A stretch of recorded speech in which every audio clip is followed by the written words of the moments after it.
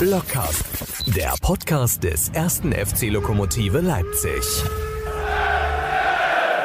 Good evening, dear listeners. Your host has returned from the United Kingdom to entertain you with much new knowledge. Best wishes to Leipzig and who, Marco? Hello. Hello. Hello. Yes, uh, thank you very much for the invitation or for the greetings. Um, I really enjoyed being back um, to to record the the podcast, the Lockcast, the podcast, which is of course uh, absolutely well known in Brighton, where I spent the last week. Harald Schmidt hat mal eine Sendung in komplett Französisch, Nur Französisch gemacht. Ja, der hat auch mal eine Sendung gemacht, nur weg mit dem Gesicht von der Kamera. Aber die Sendung mit, äh, mit wo er nur Französisch gemacht hat, war die, die Schönebergerin als Gast. Die kann halbwegs Französisch. Aber auch ihr hat es vorher nicht gesagt. Und es gab nur, aber auch nur böse Kritiken für diese Sendung. Er feiert das heute noch und sagt, das habe ich alles richtig gemacht. Ja, Fra- Französisch ist halt auch wirklich so eine Sprache, da, da, da ist schon schwer zu folgen tatsächlich. Ähm, auf Englisch, ähm, denke ich, geht es schon noch ein bisschen. Ich denke, die meisten haben verstanden, worüber wir uns ja am Anfang unterhalten haben, ist auch kein Hexenwerk. Aber Französisch ist schon unangenehm, muss ich sagen. Es gibt ja so Sprachen, da kriegt man überhaupt nichts mit. Ich war mal zum Schüleraustausch, also als Lehrer. In Ungarn, pff, schwierig, die hängen halt so die, die, die Konjunktion und so zum Teil an die Wörter dran. Also Galuschka Wahl äh, sind Nudeln mit. Wahl ist eben mit. Ja, ähm, oder also so Dinge, die man sich gar nicht her, her, ähm, herbei ähm, irgendwie zaubern kann oder herbei verstehen kann. Bin auf Toilette gegangen ähm, und dann stehe ich da vor der Toilette und dann steht da ne Mücke dick. Und ne, ne Mücke dick heißt, funktioniert nicht. Und dann bin ich natürlich zurück zu meinem, zu meinem Tisch gegangen, wo alle anderen ungarischen Lehrer saßen. Äh, die hatten uns eingeladen da und dann sagte ich, ne Mücke dick. Und dann haben alle gelacht. Ja. Wir haben eine Ungarin dabei auf der Tour und die heißt Monika. Und aus dem Grund und nur aus dem Grund weiß ich, was Guten Tag heißt, weil das heißt nämlich. Ah, Jona Podkivanok. Nee, nee, nee, man sagt so Zia Monika. Zia, Zia. Sia, Sia, ja. Sia ist so Hallo, ja. Und Zia Monika, das kann ich mir merken. Ja, Sia äh, ist auch Tschüss. Das ist so ein bisschen wie bei Salü im Französischen ist auch Hallo und Tschüss. Ähm, aber du hast auch Jonapod Kivanok, ist guten Tag gewünscht. Ja, aber morgen sagst du Jureget. Haben wir bei Lok Leipzig schon mal einen Ungarn gehabt, der bei uns gespielt hat? Äh, Ich denke, Peter Diestel, der müsste Ungar gewesen sein. Ähm, der war Torhüter in der Saison 91-92. Das ist der Ungar, der mir jetzt spontan einfällt. Es gibt sicherlich einen viel naheliegenderen Ungarn noch, aber ähm, also naheliegenderen Namen. Peter Diestel. Warte, lass mich kurz gucken. Das ist ein ehemaliger ungarischer Fußballtorhüter, donau-schwäbischer Herkunft. Also er konnte wahrscheinlich auch ein bisschen Deutsch. Spielt lange Zeit für Videoton und später für Honved. Budapest. Sie machen ja auch das S, das machen ja auch viele falsch. Das S im Ungarischen ist ja ein Sch, also Budapest, aber es ist SZ ist ein S, also es ist nicht Schekediner Gulasch, sondern es ist Segediner Gulasch. Segediner Gulasch. Und ist auch nicht die, und deswegen ist auch die Push, ne, die ist die Pusta, genau, das ist ja SZ auch geschrieben und nicht die Pushta, sondern die Pusta. Äh, sportlich viel zu berichten, aber wir haben heute sehr, sehr interessante Gäste, haben wir ja immer, aber heute sind sie mal noch einen Tag interessanter. Nee, das geht gar nicht, das stimmt nicht, was ich erzähle. Nee, wir das haben geht nicht. wie immer interessante Gäste. Ich freue mich besonders, dass der Fußballgott persönlich bei uns vorbei hört, sprich Audienz gibt für seine uns. Audienz gibt, ja, ja, ja. Und wir haben eine extrem spannende Statistik bekommen äh, zum Jubiläum 3500 Pflichtspiele unseres, unserer Vereinsgeschichte. Und da hat der Jens Hirschmann da Zahlen zusammengebaut. Ich sag dir mal so, ja, also der hätte dem Heinz Florian Ottel als Co-Kommentator damals auch sehr gut getan. Okay, ich, ich habe diese Zahlen leider nicht bekommen. Also ich habe irgendwo Zahlen bekommen, was das tausendste Pflichtspiel war und das 1500. und so. Das fand ich eigentlich auch sehr interessant. Leider waren das halt nie, also in meiner Erinnerung nicht die allerbedeutendsten Spiele, die die Jubiläen waren, soweit ich mich entsinne. Aber äh, ich fand es echt, fand es echt gut. Wir haben nachher, machen wir nachher, ne? So als Quiz. Ja, wenn du jetzt hier das noch anteasern willst. Ja, ja, wir machen nachher so ein Quiz quasi, wo du nur verlieren kannst, weil da sind Zahlen und Sachen dabei, die kann man als Normalsterblicher nicht wissen. Und äh, du als äh, Chronist und Buchautor kannst natürlich ein bisschen was wissen, aber alles glaube ich auch nicht. Aber wir werden es mal ausprobieren. Am Sonntag gab es das Freundschaftsspiel, wenn ich es mal so bezeichnen darf. Ja, korrekt. Und heute gab es in der Zeitung mit den vier Buchstaben, auch wir können ja Bild sagen, die schreiben ja auch immer viele Sachen von uns Richtig, ab. ja. Liebe uns. Grüße an André Schmidt, der Genau. wird sicherlich das Ohr ganz nah dran halten an den, ans Radio. Genau. Und da steht ja heute zu lesen, dass der Trainer, unser Trainer, äh, eine Liebeserklärung abgegeben hat. Ich dachte, oh, hat er sich eben in eine, in eine schöne Leipzigerin. Nee, nee, er meint aber die Spieler. Hast du das gelesen? Ja, absolut. Er hat natürlich solide Familienverhältnisse, hat es gar nicht nötig, sich eine Leipzigerin anzulachen. Äh, ja, hab das gelesen. Äh, Liebeserklärung fand ich so ein bisschen übertrieben. Er war halt, emotional. Ne? Und wenn es natürlich für ihn gut läuft nach fünf Spielen, muss ich sagen, dass das ist als Trainer natürlich gut, wenn du angekommen bist, wenn du jetzt nicht gleich Druck hast, weil irgendwie drei, drei von fünf Spielen nicht gewonnen hast oder verloren hast sogar. Und er ist jetzt nach fünf Spielen ungeschlagen. Ich denke, das hat es jetzt in den höheren Fußballligen, wenn ihr jetzt Rainer Lisewitsch mal raus, äh, auch nicht so oft gegeben. Ähm, das, also müsste man direkt mal recherchieren, ob ein Trainer des, ersten, des neuen ersten FC um es erstmal einzugrenzen, es geschafft hat, in den ersten fünf Spielen ungeschlagen zu bleiben. Äh, müsste man kurz überlegen, Heiko Scholz, herrlich, herrlich. da auch das eine oder andere sagen, habe ich den Namen wieder gesagt, jetzt muss ich Geld bezahlen, aber dazu später. Hat ja zum Beispiel gleich als eines der ersten Spiele das Pokalspiel gegen RB mit dem jungen Josua Kimmich, Kimmich, Lok 0 zu 2 verlor. Das wäre seine erste Niederlage. Carsten Hense brauchen wir gar nicht drüber reden. Aus acht Spielen ja ohnehin nur, glaube ich, ein oder zwei Punkte geholt. Das war auch nicht äh, nichts für ihn. Willi Kronhardt. Oh, das, äh, das ist eine gute Frage. Ob Willi Kronhardt in seinen ersten fünf Pflichtspielen ungeschlagen geblieben ist. Das könnte tatsächlich sein. Oder hat er das erste Spiel in Zwickau verloren? War es 1-1, haben wir verloren. Also das muss ich nochmal mit euch denken. Erinnere mich am Ende des Podcasts nochmal, macht dir bitte einen Knoten ins Taschentuch. Ich habe ja äh, so gerne, wie ich den Tabellenplatz sehe, immer so ein bisschen schütteln. Ich denke mir, naja, das ist ja schon wieder so eine Sache. Jetzt sind wir auf zwei, jetzt steigen die Erwartungshaltungen und jetzt kann es ja eigentlich nur noch bergab gehen. Und wenn das wieder passiert, dann geht das große Gezitter und Gejammer wieder los. Wäre es nicht besser, wenn man startet so auf Platz 10 und Platz 8 und backert sich dann langsam nach vorne? Ja, äh, klar, von der Warte her schon, aber du darfst ja nicht vergessen, was für eine Unruhe aufkommt, wenn du dann eben Platz 10 bist. Platz 10 bedeutet ja aktuell äh, lass mich kurz gucken, es müssten so vier Punkte sein. Ich glaube, Eilenburg äh, ist so ungefähr Platz 10. Mich interessiert die Tabelle tatsächlich gar nicht, weil sie nicht aussagekräftig ist. Weiß Mäusewitz ist letzter, ähm, weil es halt so eine neuralgische Position ist und Jena ist erster. Der Platz 10 hat fünf Punkte. Platz 10 hat fünf Punkte, genau. Äh, das bedeutet, aus fünf Spielen, es werden fünf Unentschieden, wenn man es so will. Oder da ist eins, eins gewonnen, zwei Unentschieden und zwei verloren.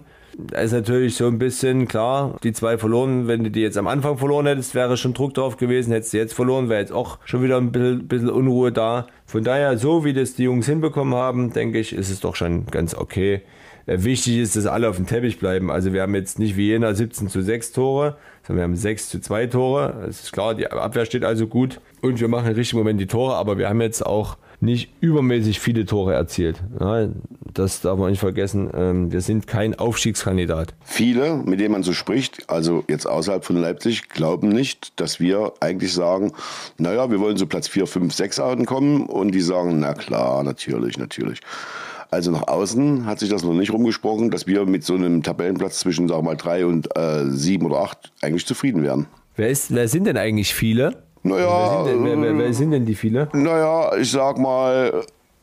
Ja, Deine FCM-Freunde. Nee, die nicht. Nee, nee, nee, nee. Nee, nee, nee, nee, nee, die nicht. Die, die beschäftigen sich mit sich selber und äh, haben damit genug zu tun. Nö, aber ich bin ja nun wirklich jede Woche in einer anderen Stadt und war ja vor zwei Wochen zum Stadtfest in Dresden und. Äh, da waren wir unten an der Elbe und über uns denke ich mir, da oben steht so eine Büchse, kennt man oft als Eisdiele oder sowas. Das sieht aus auf dem Bild wie so, wie Ulf Kirsten, gehst doch mal hoch. Und dann hat er da oben seinen Stand, wirklich so einen Promostand. Und sein Gin oder sowas, ne? Ja, alles. Und da gibt es auch Merchandise und so weiter und so weiter. Und da stand er dann und Benny, der musste immer, hol mal einen Stift, hol mal das. Also da konnten wir noch so einen Einblick äh, bekommen. Da ist das Vater-Sohn-Verhältnis genau, Kontakt. genau, genau. Und dann, hallo, wie geht's und so, so, so weiter. Und immer wenn ich auf meiner Bühne nichts zu tun habe, bin ich da hochgegangen. Und äh, viel Zeit war nicht, weil er wirklich laufend Fotos machen musste, laufend irgendwelche Autogramme schreiben musste und so weiter und so weiter. Und Benny. Fluch der guten Tat. Hast du ein paar Tore geschossen, und schon bist du. Ja, du warst in den 90er Jahren der Torschützenkönig der Liga und schon musste da am Samstag bei 30 Grad im Schatten dich fotografieren lassen. Und Benny, der ja nach wie vor auch Experte ist beim MDR. Guter Experte, guter Mann. Ja, und dann habe ich ihn gefragt, äh, wie sieht's denn aus, wie findest du es denn und so, wie es läuft. Er sagt, ja, das ist ganz gut und äh, man muss ja natürlich irgendwann auch mal aufsteigen. Ne? Und dann sage ich so, naja, so richtig, ob wir das können und wollen. Ach Quatsch, natürlich und so weiter und so weiter. Und dann kam es, wie es kommen musste, dann kam er. Dann kam er, die Herrlichkeit Däm, däm, däm. in Person. Der Elefant im Raum, wenn Lok-Podcast ist. Alle kennen ihn, aber nie ist er dabei. Ich habe ihn gefragt. Ich sage, Heiko, hörst du ab und zu mal den Podcast? Nee, nein, nee, nee, nee. Und so, was, warum, worum, geht's denn da und so? Aber er ist äh, dem ersten FC Lok Leipzig weiter wohlgesonnen, hat den Vertrag, seinen. Vertrag verlängert, äh, alles gut, hat gefragt, ob sie ihn noch leiden können in Leipzig. Ich sage, na klar, warum Nein, nicht? äh, ja. Doch. und alles gut. Ja, und das ist natürlich dann die geballte Fachkompetenz und ja. Aber also ich glaube, das ist ein relativ unterhaltsamer Nachmittag mit den Kirstens und, und, und Heiko Scholz da auf dem Stadtfest. Beneide ich dich ein bisschen. Naja, es Wenn war, ich jetzt ein war, neutrales Verhältnis zu Heiko Scholz hätte, auf jeden Fall. Also es war für mich interessant zu sehen, als dann äh, Heiko auch noch da war. Dann hatten sie, glaube ich, einen äh, so einen Textmarker und Benny musste man und her rennen und äh, den Unterschreibenden den Stift reichen, weil sie dann wahrscheinlich da nicht genug Stifte eingesteckt haben. Und da kann ich mir vorstellen, der ist ja da, also die sind ja, der ist ja in äh, Leverkusen aufgewachsen und ich glaube, die Häuser beider waren jetzt relativ nah beieinander von Heiko und von Ulf damals. Und er war ja auch viel dann eben bei den Scholzes. Scholzens. Die Scholzens. Scholzens, Ja. ja. Scholzens von nebenan. Ja, und da konnte man so in etwa ahnen, wie es dann da abgegangen ist. Benny, hol mal das, Benny, mach mal das.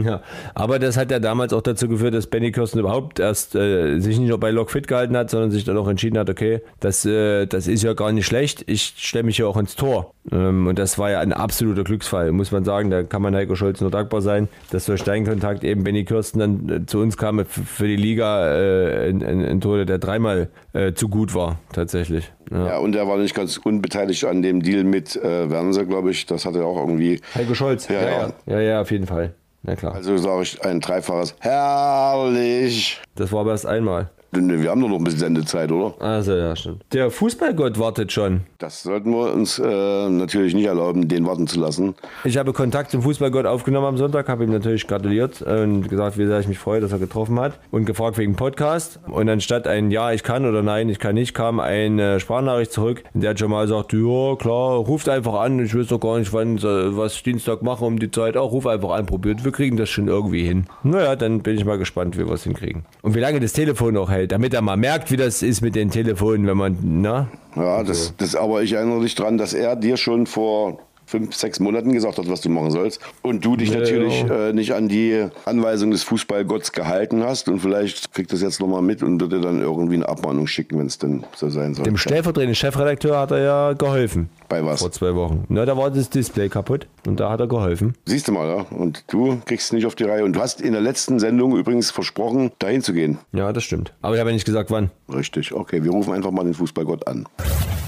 Unser erster Gast ist ein ganz besonderer Gast, weil er äh, ja schon quasi nach dem äh, Ausscheiden von Thomas Löwe zum Stammgast fast schon mutiert beim Podcast. Ich glaube, keiner war so oft bis jetzt dabei wie Jamal Ziane und es klappt auch heute wieder. Herzlich willkommen, Jamal. Herzlich willkommen. Das liegt ja an euch, dass ich Ja. auch an euch, dass ich so oft da bin. Oder da sein darf, sozusagen. Ja, ja wie, wie auch immer, aber es liegt natürlich auch an dir, weil du jetzt mit dem Tor am, am Wochenende wieder ähm, zurückgefunden hast ähm, in die Torschützenliste, ähm, was uns alle sehr gefreut hat. Wie hast du denn den Sonntag erlebt? Ja, also pff, auf jeden Fall erstmal mit Vorfreude und äh, weil ich wusste, es wird ein schöner, großer Rahmen, ähm, eine super Kulisse. Das hat man ja vorher schon mitbekommen, anhand der vorverkauften Karten und anhand der Fanfreundschaft und, und, und. Darum habe ich mich äh, auf jeden Fall gefreut. Habe gehofft, dass ich dann äh, natürlich auch spielen darf oder kann. Und genau, dann, ja, glaube ich, haben wir uns mindestens mit dem Punkt belohnt. Also mh, ich habe so während, so kurz nach dem Spiel habe ich auch im Fernsehen noch so gesagt, dass es ein 1-1, glaube ich, in Ordnung geht. Jetzt im Nachhinein noch ein bisschen was gesehen, ein bisschen Revue passieren lassen. Ja, glaube ich, hätte man den Sieg schon einen Ticken mehr verdient. Ich glaube, es hat sogar der äh, Halle-Kapitän Landgraf dann auch gesagt. Schon schade, dass wir uns da nicht noch belohnen können, konnten. Aber unterm Strich, glaube ich, ein sehr, sehr ähm, gelungener Tag für alle Beteiligten. Ein sehr guter Rahmen, Werbung für einen Fußball, Werbung für Regionalliga. Super Kulisse, super Rahmen. War ein Top-Tag, gutes Wetter. Also schönes Spiel, glaube ich, hoch und runter, viel los gewesen. Ähm, Ich glaube, für alle Beteiligten neutral und sowohl auch für je nach Seite rot-weiß oder blau-gelb war das, glaube ich, ein schöner, schöner Tag. Wenn an so einem Tag äh, Krugi und Pfeffi im Stadion sind, deine Vorgänger, kommen die nach dem Spiel zu dir und sagen, toll Jamal, das hast du aber toll gemacht oder sagen die, das war letztes Mal noch machen müssen? Ja, also die kamen nicht zu mir, aber die haben beide mir geschrieben und äh, ich habe ja auch mit beiden noch ähm, regelmäßig Kontakt und so. Also klar, die nicht nur nach dem Spiel, sondern wir haben ja oft, also sagen immer hier, was sie denken oder was sie sagen. Ich glaube, dass ich jetzt den zweiten, ja, der war dann der Winkel spitz. Ich glaube eher die allerletzte Aktion mit Luke war ein bisschen unglücklich. Ähm, entweder muss er schießen oder halt spielen. Daher war das dann so ein bisschen noch dieses, sonst hätte man mit 1-1 gut leben können. So hätte man mit dem letzten noch einen Lucky Punch setzen können. Aber ähm, ich glaube, da waren die Glückwünsche eher an dem Tag größer. Bei der letzten Aktion, die habe ich mir äh, auch mehrmals angeguckt, weil du ja in der Mitte dann bist und äh, dich auch beschwerst, warum er nicht spielt. Da war ich mir nicht ganz sicher. Wenn er spielt, dann musst du schon ein ziemlich langes Bein machen, oder? Um, um vom Gegenspieler ranzukommen. Ja, also, ja, also ich komme natürlich von weiter hinten, weil er ja den Vorsprung hatte. Mhm. Also ich bin im vollen Lauf und ich glaube, der Verteidiger kommt auch erst im letzten Moment so dazu. Also wenn, dann müsste er etwas zeitiger spielen, denke ich. Mhm. Und äh, dann versuchen wir auf dem Rechten so, so eher mehr zu spielen und dann, ja. also vielleicht den Rückraum sozusagen, dass man dann, ich glaube, wenn ich voll durchlaufe oder dann kann ich den noch reinkrätschen, klar. Ähm, ich habe ja auch gesagt, oder er nagelt das Ding dem Tor zwischen der Augen oben und hat halt einen Abschluss und dann geht er rein oder nicht. Es ja. ist halt bloß schade, dass das so verpufft, weil er sich ja auch vorher gut den Ball erarbeitet und erkämpft. Also Absolut. von daher einfach eher schade so. Da, da bin ich ganz der Meinung, weil wenn, wenn man in der 91. Minute dann so, äh, so eine Möglichkeit hat vor äh, auf dem Weg zum Tor, dann tut es halt. Ja, du rennst, glaube ich, gefühlt 100 Mal an oder wenn das reicht, ein Torwart oder ein Abwehrspieler und da geht nie was schief. Und dann hast du mal das Glück, dass was schief ging und dann konnten wir es leider nicht ausnutzen. Muss dazu auch sagen, Lö springt natürlich nochmal mit allem rein, was er hat. Ja, ja, das stimmt. Die Situation für dich war ja nicht leicht. Erklär nochmal allen, was dir jetzt genau gefehlt hat und warum es so lange gedauert hat, dass du wieder zurückgekehrt bist. Ich meine, war jetzt nicht dein erstes Spiel, aber äh, bist, wirst ja nach wie vor irgendwie so ein Stück weit rangeführt. Zwischendurch hieß auch mal, es könnte sogar noch ein bisschen länger dauern, als du noch gar nicht gespielt hast. Was war jetzt genau die Situation, in der du dich befunden hast? Naja, das ist halt so eine Verletzung oder mehrere Verletzungen im Fuß waren, ähm, mit der ich immer noch, äh, was heißt Probleme habe, dass ich immer noch spüre und immer noch leichte Schmerzen bei manchen Bewegungen habe, was aber normal sein wird, weil ich das jetzt die nächsten Monate auf jeden Fall noch habe, was aber auch vorher klar war, ähm, was auch ich mit dem Arzt so alles abgeglichen habe, was ich weiß, aber was aushaltbar ist und womit ich klarkomme. Und dann ähm, hieß es ja gefühlt, dass ich eigentlich am Ende der Vorbereitung erst anfangen kann, so wenn wir quasi, wenn die Saison losgeht, genau. erst langsam anfangen kann. Dann war ich aber insgesamt viereinhalb Monate raus und das merkt man dann schon. Also du denkst halt, du willst viel laufen und viel Fahrrad fahren, das habe ich schon mal erzählt, dann denkst du, du bist fit, dann fängst mhm. du an zu trainieren und denkst dir bei der ersten Passform schon alleine, was ganz leichte Belastung ist, ach du Scheiße, was ist denn hier los? Und dann trainierst du ein paar Wochen mit und dann merkst du das erste Spiel 20 Minuten und denkst, Himmel, Arsch und Zwirn, beim Vorbereitungsspiel gegen Hamburg, was ist denn hier los? Dann merkst du das schon, dass das einfach fitnesstechnisch du das gar nicht ersetzen kannst, egal mit welchen Übungen, Spiel und Spielpraxis. So, und das ist auch immer noch, sage ich jetzt mal, das, äh, das Hauptaugenmerk. Also das, ähm, das ich trainiere voll mit, mache alles voll mit, aber Spiel ist mal einfach nochmal was anderes als Training. Weniger Gas gibt, sondern weil im Training ja viel mehr Unterbrechungen sind, Erklärungen und und und und und. Ja. So, und dadurch, dass es so eine ungewisse Verletzung ist und das bei jedem anders dauert und das nicht so alltäglich war, konnte das keiner sagen. Das haben mir dann ja am Anfang auch welche gesagt, boah, ähm, man sagt ja immer, so lange wie man verletzt ist, braucht man dann auch wieder, um voll da zu sein. So lange glaube ich jetzt nicht, dass ich nochmal viereinhalb Monate dann brauche, aber ähm, es, es, dauert halt, es zieht sich halt schon ein bisschen. Und dann, äh, ja, war halt so, es kann sein, es dauert sechs Wochen, es kann sein, es dauert ein paar Monate. Und irgendwann haben die mir mal gesagt, na, vor sechs Wochen, gefühlt brauchst du nicht anfangen. Und dann habe ich einfach nach ein paar Wochen irgendwann angefangen. Es ging. Ich habe das mit dem Schmerz, Schmerz so, bin ich klargekommen, habe das so ausmachen können, dass es halt passt. Und ähm, ja, und seitdem trainiere ich dann voll und dann ging das so. Und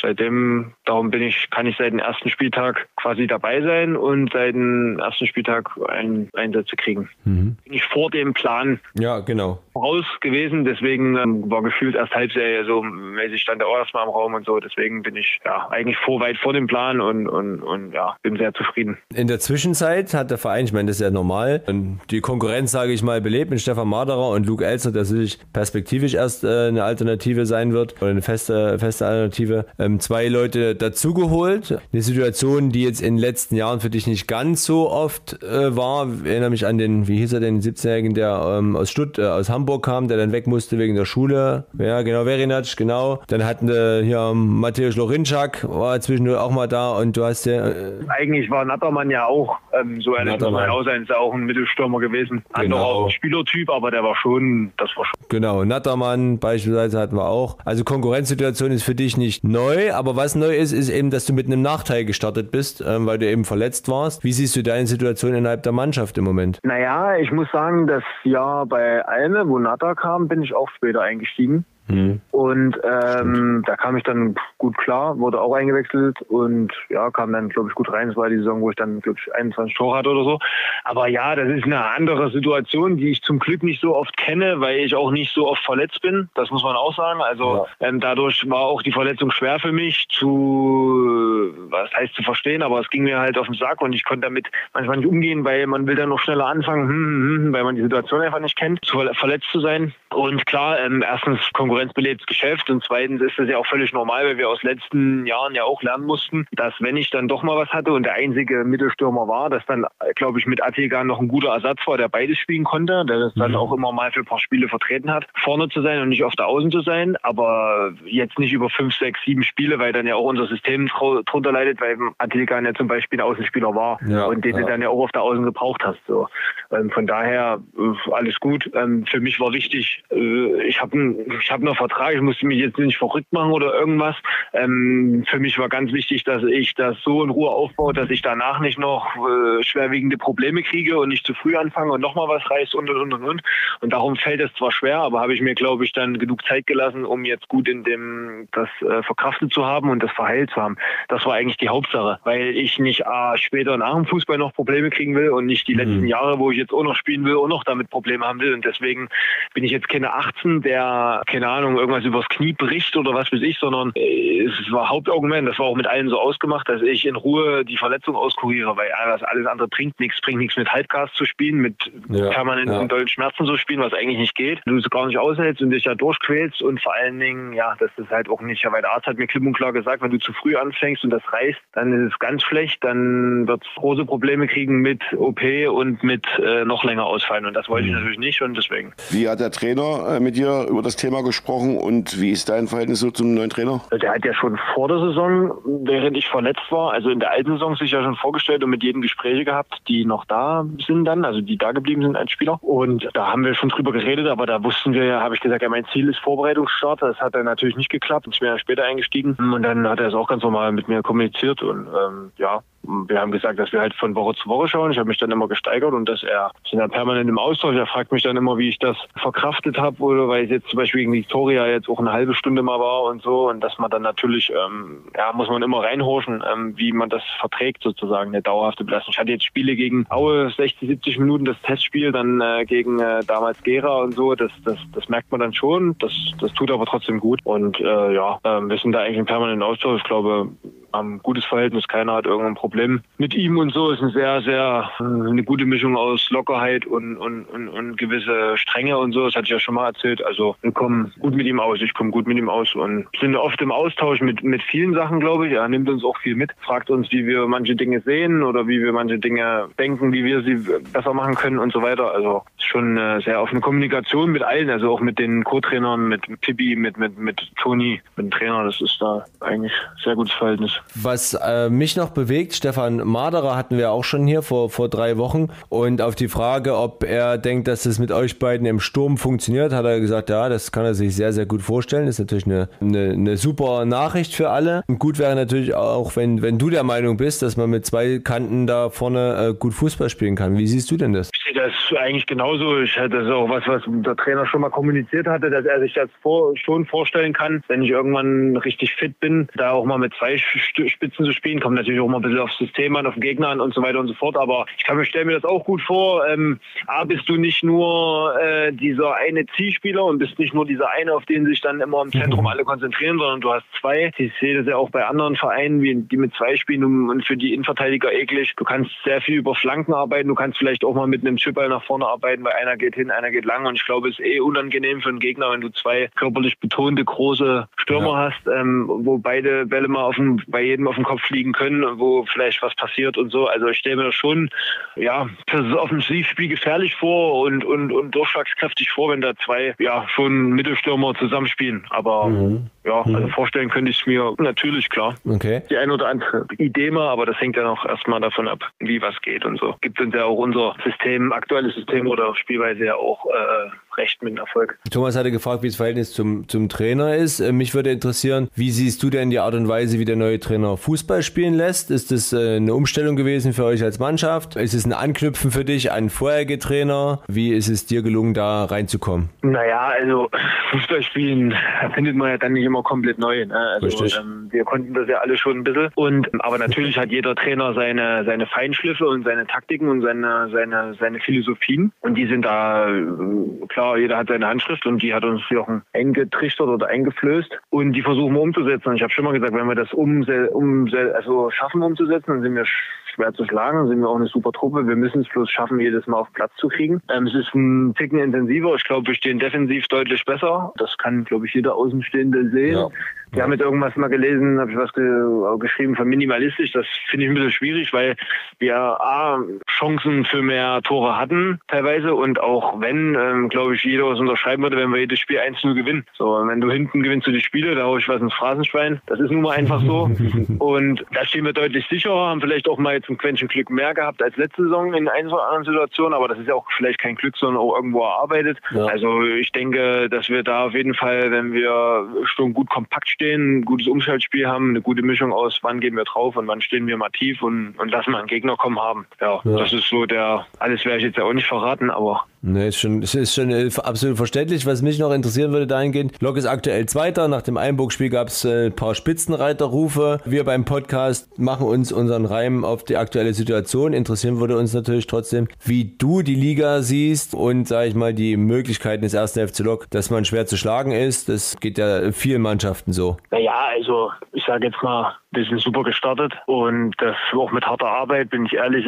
Und ja, dass da jeder immer mal was reininterpretiert, das ist ja klar. Fußball ist schnelllebig, bis schnell oben, bis schnell unten. Vor ein paar Monaten kann ich mich noch an andere Rufe erinnern, au- außer Spitzenreiter. Also das ist ja klar. Aber ich habe ja schon mal gesagt, ähm, da ist eine Saison lang. Ich sehe die Lig- Liga stark wie noch nie und das sagen wir fast jedes Jahr. Aber es ist einfach so. Man sieht das. Ich glaube, keiner hätte mit Zehlendorf so sehr gerechnet wie jetzt. Als Beispiel. Ich Ja. glaube, Plauen hat ähm, sehr viele Spiele unglückliche äh, abgegeben oder Punkte abgegeben. Die spielen auch keine schlechten Dinger. Und da sind jetzt zum Beispiel zwei Aufsteiger, die ja gut mitmischen. Das ist halt nicht wie die ganzen Jahre, nicht zuvor, aber vor einigen Jahren, wo es da wirklich ein paar abgeschlagenere gibt. Klar macht jetzt Jena gerade seinen Kram überdurchschnittlich, aber selbst letzte Saison hat sich die Saison am letzten Spieltag entschieden, wer hochgeht und wer nicht. Also das zeigt ja die Ausgeglichenheit. Ich kann mich noch an Saisons erinnern, wo Cottbus oder Jena damals mit 15 Punkten vor, am Ende schon mittendrin irgendwann war, wo jeder wusste, okay, das war's, wo die aufgestiegen sind. Das hast du jetzt, Clay, denke ich, kaum noch. Oder äh, ja, es gibt so viele Mannschaften, die da oben mitmischen wollen. Davon stehen auf jeden Fall einige noch hinter ihren Erwartungen, denke ich mal. Mit uns hat da bestimmt gerade auch bis jetzt noch keiner gerechnet, aber so okay so. Aber äh, ja, also wie gesagt, wenn wir unseren Plan und unsere Leistung permanent auf den Platz kriegen, was natürlich auch schwierig ist über eine Saison, dann denke ich, werden wir eine gute Rolle spielen und sind auch sehr schwer zu schlagen. Jetzt kommt es halt auf die Konstanz an und ein bisschen Glück, dass du verletzungsfrei bleibst und nicht gesperrt und so weiter und so fort, dass du da natürlich gut durchkommst und dann wird uns nicht immer gelingen, eine optimale Leistung abzurufen. Ist ja klar, wir sind ja auch noch Menschen, es gelingt keinem. Aber wenn wir das zum Großteil hinbekommen, dann, dann, dann denke ich, können wir eine gute Rolle spielen. Vor ein paar Wochen hatten wir eine Mail zum Thema Jamalziano. Da ging es darum, da fragt, ich glaube Silvia hieß Svenja oder ich weiß nicht mehr. Die fragte, äh, was hat der Torjubel von Jamalziano zu bedeuten? Richtige Bedeutung hat es nicht. Also es ist ja mal entstanden mit Farid im Trail. Also wir haben ein Spiel geguckt und da hat, glaube ich, Altklinike gegen Cottbus gespielt oder so. Und dann hat einer, der dieser Skoda von Altklinike so gejubelt und keine Ahnung, wir haben dann, da hat sich Wollitz, glaube ich, aufgeregt oder er hat das vor dem Fenster irgendwie so. Auf jeden Fall fanden wir die Szene irgendwie lustig durch irgendwas. Dann haben wir im Training aus Spaß so gejubelt, dann haben wir das nächste Spiel getroffen, dann haben wir jubeln mal so, dann haben wir so gejubelt, dann habe ich so gejubelt, na, und dann hat sich das fortgesetzt, dann hat das Glück gebracht und seitdem ist es so ein bisschen, äh, ich will nicht sagen Markenzeichen, aber Wiedererkennungswert und deswegen jubel ich so. Das kam ja bestimmt mal, ja, Modest hat ja auch immer so gejubelt, es gibt ja Richtig. einige, die das machen. Aber es hat jetzt keine richtige Bedeutung. Also es ist jetzt nicht die Brille, dass ich sehe, wo das Tor steht, aber oder dort immer jemand suche auf der Tribüne. Äh, das auch nicht. Ist halt irgendwie lustig und äh, ich finde es immer witzig. Und jeder hat ja so seinen anderen, seinen eigenen Move. Es gibt keine klare Bedeutung. Ist deine Schwester ab und zu mal im Stadion? Weil die müssen wir endlich mal fragen, nach 500 äh, Podcasts mit dir. Die wollten wir ja mal einladen und es gelingt uns Ja. aber nicht. Ich denke ja nach wie vor, dass du das irgendwie blockierst. Aber vielleicht können wir sie mal nicht. Ich gebe einfach die Nummer und ihr schreibt da mal. Na, meinst du, die, die reagiert, wenn wir das schreiben? Ist doch besser, wenn du sie mal ansprichst. Ah, wir können sie auch anschreiben, dass Doch, die war äh, im Stadion, ja. Die hat sich auch sehr gefreut. Mit der Nach- auch noch geschrieben. Hat natürlich auch immer selber Hockey und so, aber Ja, wenn ja, sie ja. kann, kommt sie immer. Bei welchem Verein spielst du jetzt in Leipzig? ATV, immer noch. Gefühlt so länger als ich bei Lok schon auch. Okay. Na gut, aber viele Alternativen im Hockey in Leipzig hast du ja auch. Ey, ich glaube, früher gab es mal. HTC noch oder L und LSC gab es auch noch. Ja, ja. So, ja. aber viel mehr gibt es da nicht, ne. Und was ist aus Einheit Zentrum geworden? Das war die erfolgreichste Hockey der Weiß ich nicht, aber im Westen. Bleib mit deinem DDR-Kram mal weg jetzt hier, Thomas. Weißt Das ist genau gegenüber vom Bruno Blacher Stadion, ich bitte dich.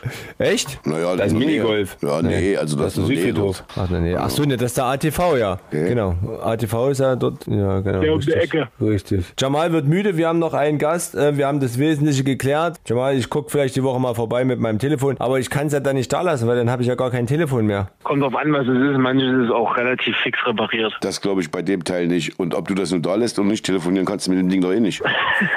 Ja, vielleicht muss auch Jamal einfach nur was Okay. aus dem Autoausgang rauspulen. Und, und schon Das kann sein, ja. Mal sehen, was das da verfangen hat in zwei Jahren. Gut, wir wünschen dir einen schönen Feierabend. Danke, Jungs. Gute, wie soll man sagen, Regeneration und viele, ja, gute Steigerung deiner Leistungsfähigkeit jetzt über die nächsten Spiele und dass du dann auch bald wieder in die Startelf kommst.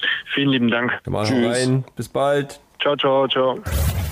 Unser erster Gast unserer äh, Legende im Verein, der Fußballgott Jamal Ciane und Kapitän und Torschütze beim Freundschaftsspiel gegen Halle. An der Stelle brauchen wir nicht zu sagen, dass wir wieder nur einen netten Gast hatten. Den hatten wir ja schon so oft, wie du es vorher schon erwähnt hast. Eigentlich könnten wir doch mal den, den Jamal einladen, sagen, pass mal auf, es ist 20 Uhr, wir zeichnen auf, sag mal was und äh, bring dir selber noch einen Gast mit und dann lassen wir den eine Stunde reden und dann machen wir Schluss und wir senden das einfach. Ja, so können wir das machen. Ich habe ja während des Gesprächs nochmal geguckt, wie lange Jamals Vertrag läuft, weil ich nicht wusste, 2025 oder 2026. Mir war wie 2026, das ist auch so. Und habe bei Google eingegeben, äh, Jamal. Und es ist nicht Jamal Ziane, der da als erster bei Google gesucht wird, sondern eine gewisse Jamila Rowe, deutsche Visagistin. Und ich muss sagen, das muss enden. Es muss Jamal Ziane die erste, der erste Treffer sein dort im, im Erstaunlich, dass nicht Musiala als erstes auftaucht, oder? Nein, der wird ja mit J geschrieben. Der wird ja nur mit J geschrieben. Deswegen, das, äh, das ist ja dann schon ein äh, orthografischer Unterschied. Ich hätte eigentlich mal fragen müssen, wie man von Berufswegen her Fußballgott oder Fußballlegende wird, was man da für Voraussetzungen oder wie, wie sowas passiert. Wenn jetzt ein junger Mensch fragt, äh, ich bin ja auch Fußballer in der achten Kreisklasse und ich würde gerne Fußballgott werden, was muss man denn machen, um Fußballgott zu werden? Das ist eine gute Frage. Ich glaube, du musst zuverlässig deine Leistung bringen, immer. Darf auch ruhig äh, mal in wichtigen Spielen eine besonders gute Leistung sein. Ähm, es gibt ja auch Fußballgötter, die irgendwie im Mittelfeld gespielt haben. Also hat ja nicht nur mit Toren zu tun. Torhüter können auch Fußballgott äh, werden. Aber natürlich sind es vorwiegend Tor, Torjäger, weil die einfach diese wichtigen äh, Momente haben, diese Tore dann machen, wo dann jeder erleichtert ist. Ach, ein Glück. Früher war es eben der Häusel, jetzt ist es der Jamal Ziane. Die sind dann da und die retten uns aus der größten Not. Die gleich noch, jetzt fliegt ja eine Motte rum, höre auf. Die retten uns, die, die gleichen aus in der letzten Minute, die machen das Siegtor kurz vor Schluss, die sind alle da und ich glaube, das ist schon ein äh, Vorteil, wenn man Fußballgott werden möchte, wenn man in den wichtigen Spielen dann auch da ist. Hast du die Motte jetzt getötet? Ne, die ist weggeflogen und ist ja so halb dunkel. Ich sitze so im, im, nur im Schreibtischlicht. Viel wichtiger ist aber, Thomas, können wir den zweiten Gast anrufen, der ist nämlich ein bisschen aufgeregt. Dann machen wir das. Ja, am äh, Sonntag auch im Stadion, genauso wie unser erster Gast Jamal Zian, aber in dem Falle nicht als aktiver Spieler, sondern als ehemaliger Spieler, als Teil der ersten Pflichtspielmannschaft oder der ersten Mannschaft des ersten FC Lok. Ähm, Und heute im Podcast, wir freuen uns sehr, dass es geklappt hat. Hallo, René Rosberg. Einen wunderschönen guten Abend. Vielen Dank, dass ich da sein darf. Schön, dass das klappt. Wir freuen uns. Und meine erste Frage: Du bist einer der wenigen Menschen, äh, die ich persönlich gesprochen habe, die dazu beigetragen haben, dass äh, Lothar Matthäus verpflichtet wurde in den Verein. ja, das kam am Wochenende auch nochmal zur Sprache. Selbst äh, Rainer Lisiewicz hat mich nochmal gefragt, wie das war. Und ja, das, das war relativ kurios. Ich glaube, der Trainer kam irgendwann unter der Woche rein und meinte, wer hat dann und dann Zeit. Äh, ich glaube, da ging es noch nicht mal um München fahren oder so. Und dann stand ich bei Katrin Pahlhorn, der Schatzmeisterin, und beim ersten Vorsitzenden, Steffen Kubert, dann im Büro. Dann ging es ja, muss jemand nach München fahren an dem und dem Tag. Wir brauchen die Unterschrift für den Spielerpass. Da hat aber keiner irgendwie gesagt, wie man da rankommt oder, oder das drumherum oder ja. Ja, und dann habe ich gesagt, ich kann das machen, ich habe da Zeit und habe aber gesagt, ich brauche ein Auto. Ich hatte damals noch kein Auto, kein eigenes. Mit was für ein Auto bist du dann da hingefahren? Ja, da haben die äh, zum Buchbinder, ich glaube, das war damals ein Sponsor, ein, ein, ein Autoverleih Autoleiher, eine Autovermietung und ja, da fährst du dann und dann zum Buchbinder und dann kriegst du ein Auto. Und dann ich mit dem 5er Golf, das war damals schon ein recht cooles Auto mit 18, 19, also sehr aktuell. ja, bin ich mit meiner damaligen Freundin dann ja, nach München gefahren und dann sind wir da ja, fünf, sechs Stunden gefahren, haben dann im Hotel. Hast du den dritten Gang beim Golf nicht gefunden oder was? Na doch, das kannte ich schon. Mein Vater hatte schon zeitig ein Auto mit sechs Gängen, von daher war das kein Problem.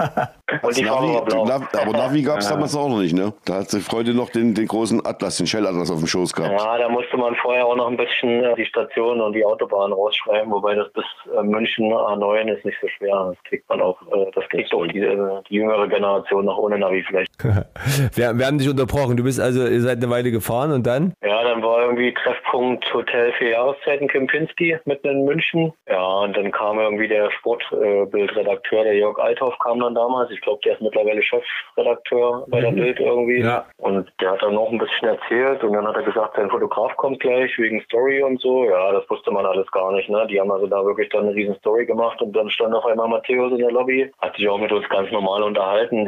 Wie gesagt, wir waren ja, äh, meine Freundin war vielleicht 16, 17 und ich war gerade 18, 19. Äh, ja, aber ganz normal kann man sich auch nicht vorstellen. Ich habe auch jetzt am Wochenende erst ein Foto wieder in der Hand gehabt, wo ich mit Matthäus Trikot mit sieben oder acht Jahren da über den Fußballplatz äh, renne. Also großer Bayern-Fan durch Lothar Matthäus. Und als man ihn dann ein paar Wochen später auch spielen sehen hat, ich meine, der hat ja damals schon zehn Jahre nicht gespielt. Das muss man einfach sagen, war überragend. Das war das. Wie gesagt, war nicht so geplant, aber war für mich natürlich ein Riesenereignis mit Sportbild, äh, Artikel und Riesenbild. Krass, ja, wirklich, wirklich krass. Ist das für dich die prägendste Erinnerung an, an, an, diese, an diese Zeit beim 1. FC Lok? Oder gibt es da noch ein paar andere, die darum konkurrieren, sozusagen die prägendste Erinnerung zu sein? Ja, ich sag mal, die prägendste Erinnerung, es war generell ein sehr tolles Jahr, weil ich sag mal, welcher Kreisklasse-Spieler kann schon behaupten, er hat vor 10.000 Zuschauern aufwärts gespielt. Ansonsten war es, äh, also wie gesagt, auf der einen Seite ein sehr gutes Jahr. Ich hätte gern noch länger und mehr gespielt. Das war aber schwierig damals, weil ich noch Wehrdienst leisten musste und nicht so oft zum Training konnte. Und ansonsten, jetzt auch am Wochenende haben wir ja ein paar Sachen auch diskutiert. Wie gesagt, viele heben ja das Spiel so gegen Dölitz Ehrenberg hervor. Wir bleiben eigentlich so die, die ersten Spiele im Gedächtnis, vor allem das allererste gegen Eutrich. Da waren wir ja noch gar nicht lange so zusammen als Team. Ähm, davor die drei Auswahltrainings, meine ich, waren es. Das waren, glaube ich, drei Termine. Ja. Da waren okay. allen drei da. Und so circa 100 Spieler, die da waren. Und am Ende wurden dann die genommen, die den Kader dann eben gebildet haben. Zusammen mit Uwe Trommer dann auch, äh, ja, Frank Wimberger, René Häuse. Und ja, das war schon, wie gesagt, das erste Spiel gegen Eutrich. Da hat man wahrscheinlich auch in Leipzig gedacht, äh, das Thema VfB, Schrägstrich Leipzig hat sich jetzt erledigt, auch fantechnisch. Mhm. Man war ja fantechnisch nicht überall beliebt in der Stadt. Und man hat einfach gedacht, das hat sich jetzt erledigt und der Verein ist tot. Und dann waren da fast 1000 Zuschauer auf diesem kleinen Sportplatz da in Eutrich. Kann man sich kaum vorstellen. Und dann hat man sich als Mannschaft immer mehr zusammengefunden. Und dann war für mich eigentlich somit das prägendste Erlebnis am Anfang, mitten in der Woche, glaube ich, gegen Nauenhof. Weil Nauenhof sich wieder noch ein paar Spieler aus Krimmer zusammengekauft hatte. Und man diese eigentlich mit, mit im Verhältnis Übermannschaft, die man dann da 1-0 schlägt. Ja. Das stimmt. War der erste, war der erste Sieg damals ähm, nicht Pflichtspielsieg, aber erster Sieg, glaube ich, einer äh, der, der neuen Lokmannschaft. Das heißt, du bist über das Casting tatsächlich zu, ähm, äh, zu Lok gekommen. Hast du das damals aus der Zeitung erfahren oder von der Homepage? Ähm, oder hat dir der Opa gesagt, Junge, geh da mal hin, da wirst du ein großer? War aus der, war aus der Zeitung. Wie gesagt, äh, ich habe da den Schluss dann noch schnell gefasst, das zu probieren. Ja, und war ja im Nachhinein auch eine gute Entscheidung. Und was man ja halt trotzdem auch sagen muss, ich meine, da kamen ja wirklich einfach äh, vorher Leute, die, ich glaube, Marco, du warst auch dabei, ne? Ja. Ja. Herr Löffler auch, kann ich mich noch Richtig, der stellvertretende Chefredakteur auch, ja. Von, von Locomotion noch ein, zwei Leute. Warum ich mir sowas merke, weiß ich nicht, aber ich kann mich ganz gut dran erinnern. Waren, wie gesagt, viele Leute, die einfach vorher wirklich Fans waren, auf der Tribüne, auf der Gegengerade, wie ich früher. Und ja, ja einfach auch, ich denke auch trotz allem dem Verein noch helfen wollten, dass ja. es so weiterging. Also ich glaube nicht, dass viele im Kopf hatten, ich mache das jetzt für mich und werde dann ein Riesenstar oder so. Nee. Ist auch am Ende keiner geworden. René, sag mal, als du den Herrn Löffler und den Herrn Marco spielen sehen hast bei dem Casting, was war so dein erster Eindruck und hättest du jemals gedacht, dass es über das Casting bei den beiden rausgeht? Kann ich mich im Detail nicht mehr dran erinnern, aber konditionell waren sie auf jeden Fall auf der Höhe. Absolut, war ich, war ich damals schon. Ja. Tatsächlich kann ich, also wenn du so sagst, möglicherweise haben wir sogar in einer Mannschaft gespielt da. Ich war, ich war einmal da denke ich, weil ich beim ersten Mal konnte ich nicht. Beim zweiten war ich dabei, beim dritten war ich zur Berufsschule in Erfurt. Und genau, das war ein großes Hallo. Man kannte den einen oder anderen. Michael Bench kannte ich auch schon. Äh, warum, Thomas? Äh, das, das, äh, na wohl, das kann ich ja hier erzählen. Michael Bench, der ja dann im Tor stand, der hat mir mal bei einer der letzten Auswärtsfahrten zu dem Pflichtspiel des VfB Leipzig, das war beim Ligaspiel beim VfB Auerbach im November, da saß er bei mir mit dem Fanbus und äh, stand dann im Block, saß mit dem Fanbus und stand dann im Block neben mir und nahm mein Programm auf und so riss es einfach und machte daraus Konfetti und freute sich daran. Und da dachte ich mir, was ist denn das für ein Typ? Ja, der wird sich er wird sich natürlich nicht dran erinnern, aber der war, äh, er war mit dem Tor, ähm, das weiß ich auch noch. Und es haben einige Leute die VfB-Trikots mitgenommen, die beim Casting waren. René, hast du die auch mitgeklaut? Hast du auch geklaut? Natürlich nicht hat ja jeder so als Unterscheidungsmerkmal ein Trikot bekommen mit einer Nummer. Das waren VfB-Trikots. Das, das weiß ich auch noch. Ähm, wo hast ja, du vorher gespielt? Im ersten, im ja? ersten Spiel war es ja, war es ja dann auch noch VfB-Trikots, meine ich sogar. Gab ja, genau, genau. Trikots und so. Ja, ich habe vorher lange Zeit bei der Spielvereinigung gespielt. Bin das Jahr vorher dann noch zu Kickers Markleberg. Genau. Und dann wäre wär ich da wahrscheinlich, hätte ich da Männer weiter gespielt. Aber dann, wie gesagt, äh, gab es ja das Casting. Und ja, man wurde damals auch dann ein bisschen belächelt so von einigen Leuten. Naja, klar klar. Äh, ja. Bei mir ist das eigentlich bis heute so. Wenn man sich einmal für was entscheidet, dann sollte man das richtig machen. Wie gesagt, die, das war eine sehr, sehr gute Entscheidung. Aber wie gesagt, dass das so äh, mit den Fans so eine Fahrt aufnimmt und so eine Eigendynamik und auch in der ganzen Stadt so, das war ja nicht absehbar. Ne? Und ich muss mal sagen, je länger die Saison dann wurde, beim FC Sachsen Leipzig lief der dann überhaupt nicht gut, meine ich so, sportlich gesehen. Und dann haben die, die Fans so gesehen, Mensch, das ist eigentlich viel geiler, was die so haben, was die sich wieder zurückgeholt haben auch, äh, auch ohne die Geld sorgen in, in dem Sinne, ne? weil wir waren ja nur kein teurer Kader.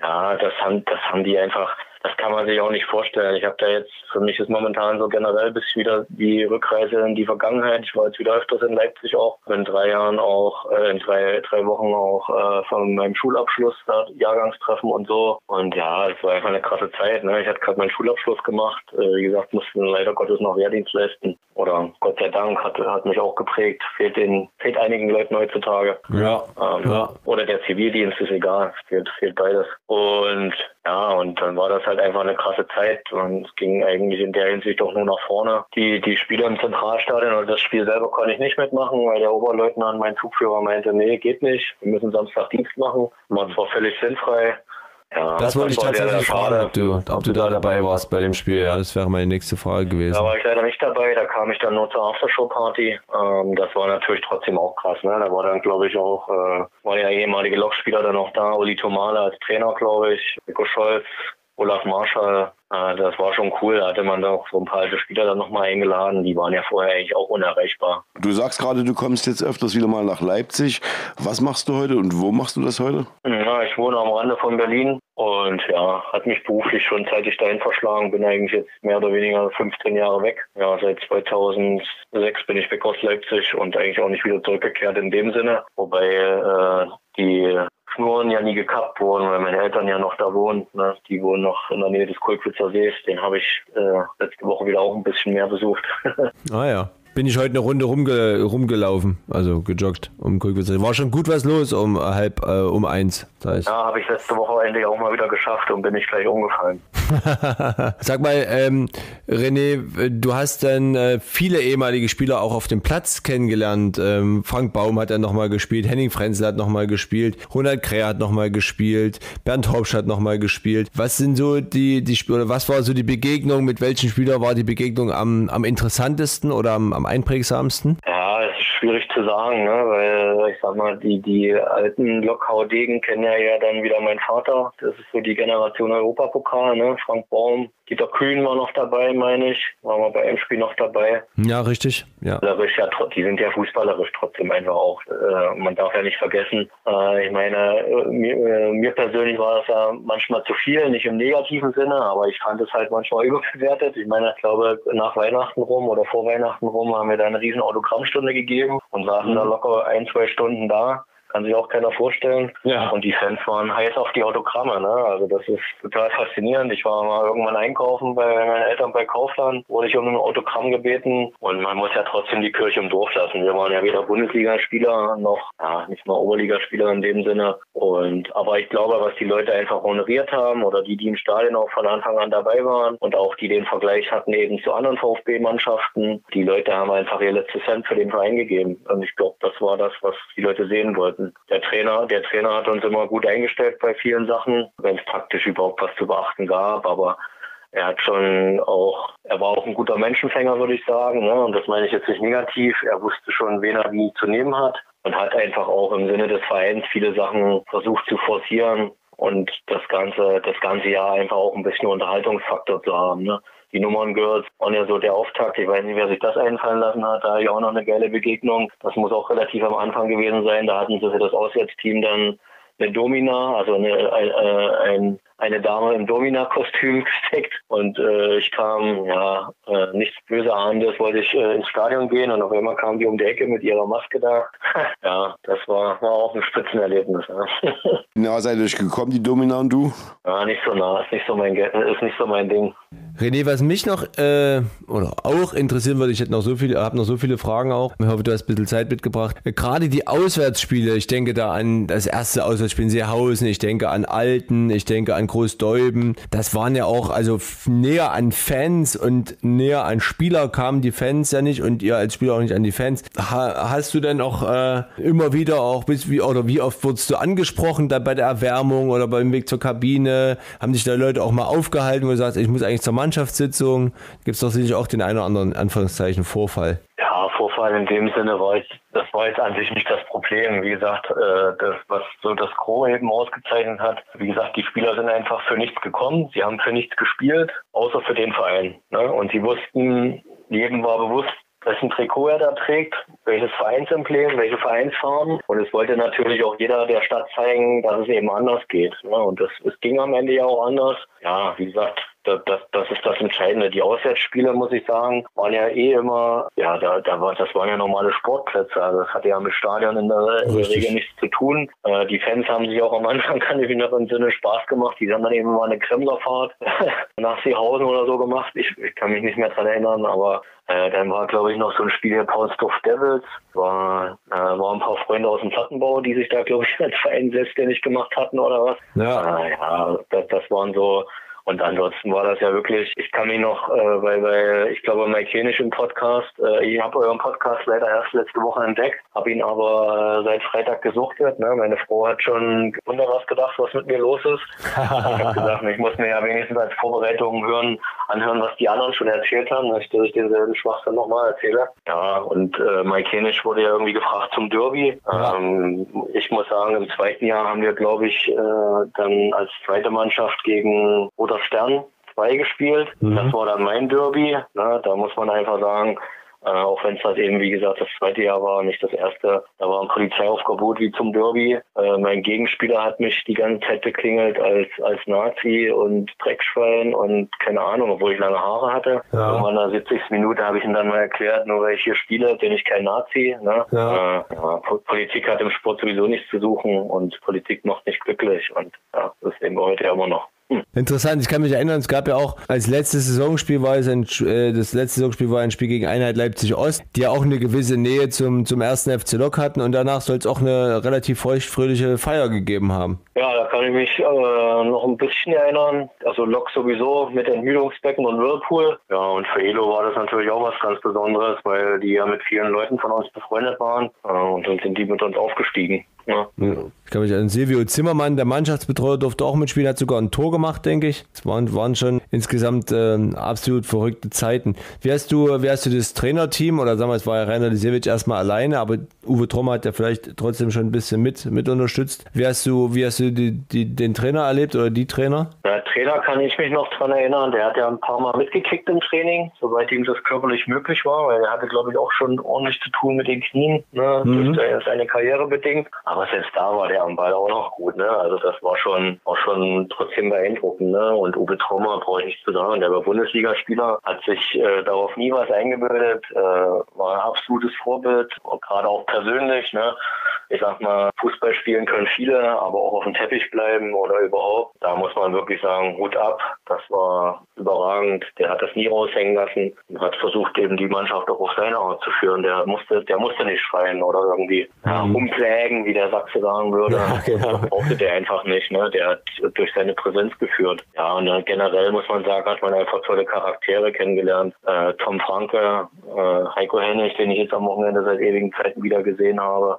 Ja. Das sind einfach Persönlichkeiten, zu denen man aufschauen kann. Gab auch den einen oder anderen äh, bunten Vogel, sage ich mal, oder illustre Persönlichkeit. Ich denke da zum Beispiel an Patrick Hilly äh, als Ersatztorwart. Hat ja auch für die eine oder andere Anekdote, genau, Perle, äh, für eine oder andere Anekdote gesorgt. Ja, natürlich ein Fall für sich. Äh, man brauchte wahrscheinlich noch einen zweiten Torhüter. Äh, ich kann mich noch daran erinnern, dass der mal irgendwann, ich glaube, da hat er sogar gespielt oder was und musste dringend pinkeln und hat ja. einfach schnell neben Tor gemacht und so. Aber ja, das war dann eher wieder so naja, lassen wir das.